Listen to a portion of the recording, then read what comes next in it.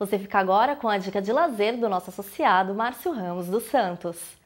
Oi, meu nome é Márcio Ramos dos Santos, eu trabalho na Libra. É, hoje eu vim me sindicalizar aqui no Setaporte.